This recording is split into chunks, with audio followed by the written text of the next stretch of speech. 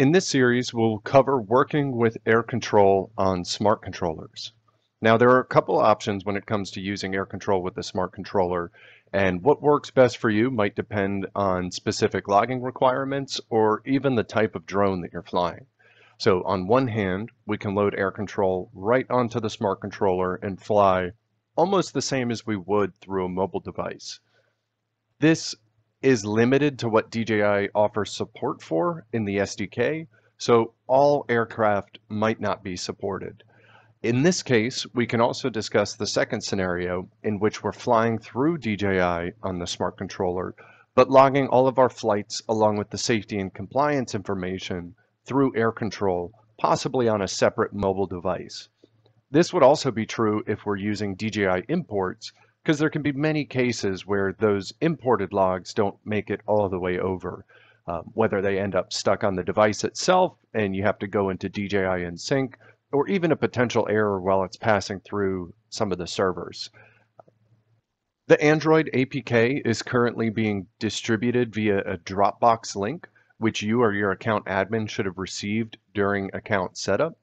So if you look for your original welcome email, that should look something like this, follow the link to download the Android APK. It will bring you to a Dropbox link similar to this, and you can download the latest version right to your computer, or you can also save this directly to a USB flash drive that you can then insert into the smart controller. In this example, we have the smart controller connected to the computer via USB cable. So I'm going to download this to my computer.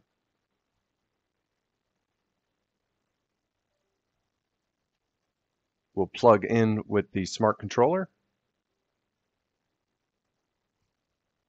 Make sure you choose the option to transfer files.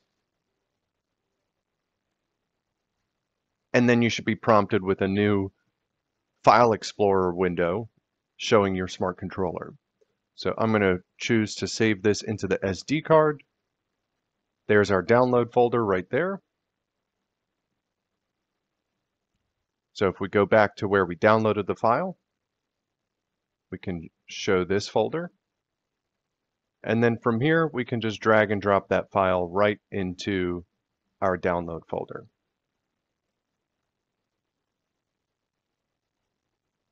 Once that's complete, the file is now on the smart controller, so we can close out our windows, and we'll resume the process from the smart controller. So let's go ahead and get into our apps here. You should have an option for File Manager. And here we can explore and get into our SD card and then we'll find that download folder again. And we'll grab the latest version that we just downloaded and tap to install. Follow the prompts.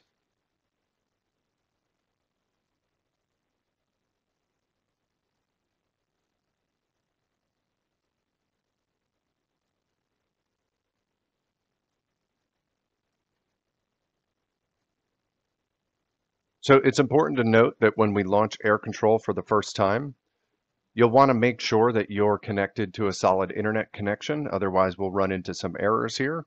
You can always confirm that through the menu. You can see my Wi-Fi is enabled and we are connected. So let's go ahead and log in.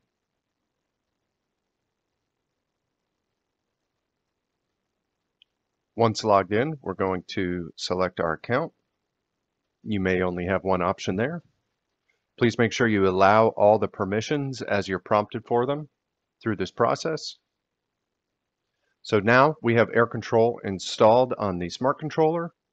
We're logged in and online. You can see we're getting our airspace maps, our advisories are coming through, so we're now good to go.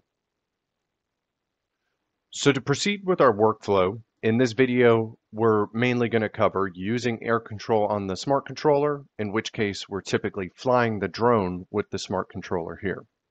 So just as we would, we can tap the fly button right here on the main screen, or we can go into our missions and create or select a mission. in which case we'll grab one of our missions, we'll run through our workflow.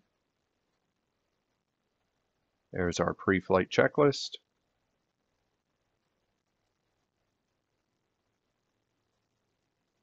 There's our risk assessment.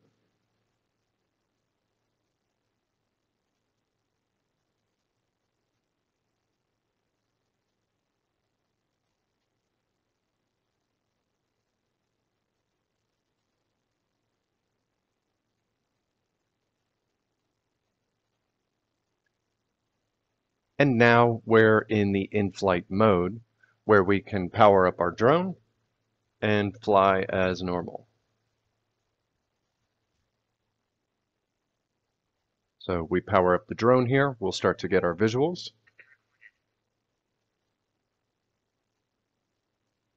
So just like that, we now have controls.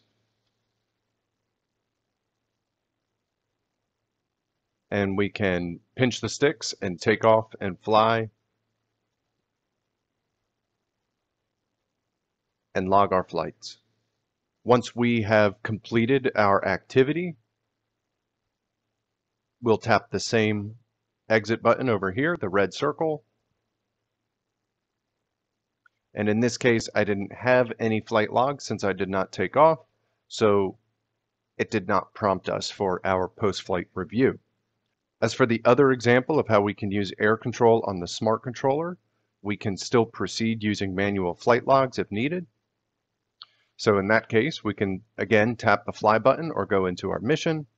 I'm going to grab that same mission, select. I'm going to skip through the workflow for this example.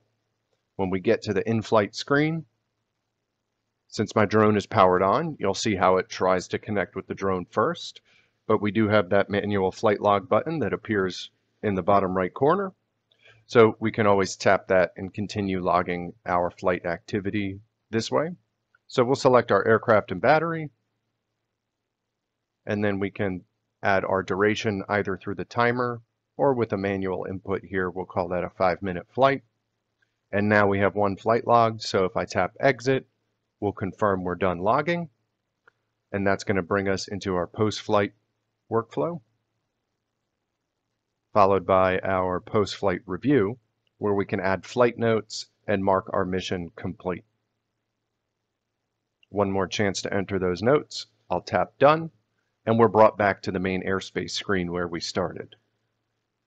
So that's a pretty quick tutorial on how to use air control on the smart controller. If you run into any questions or issues, please feel free to reach out to support at aloft.ai also reach out if you need the link to the latest version. We'd be happy to provide that. As always, thank you for flying with Aloft. Fly safe and fly often.